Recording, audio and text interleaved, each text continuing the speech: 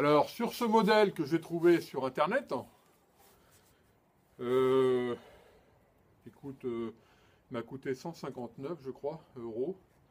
Mais on en trouve maintenant à moins de 100 euros.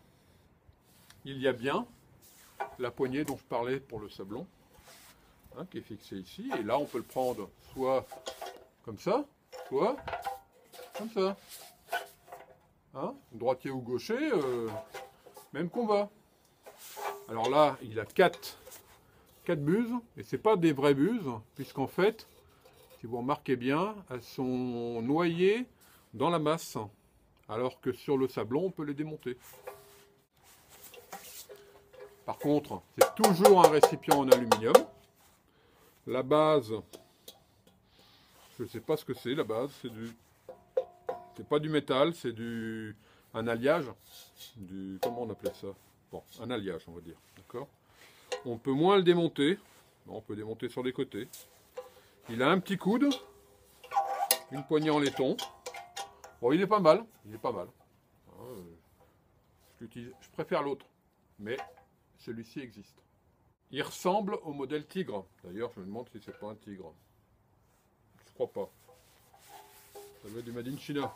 Alors, c'est peut-être du faux aluminium. Je suis en train de raconter des bêtises. C'est certainement du faux aluminium parce que ça s'oxyde. Vous voyez là Tout ça c'est oxydé là. Tout le côté là c'est oxydé, c'est rouillé. Donc c'est certainement pas de l'aluminium. L'aluminium ça rouille pas. La boîte à projeter euh, le sablon il rouille pas. Hein. Lui il rouille pas. Hein. Lui c'est de l'aluminium. Hein. Alors c'est vrai que là, il y en a pour plus de 500 euros. Neuf. Là il y en a pour 160. Bon, Ceci explique cela.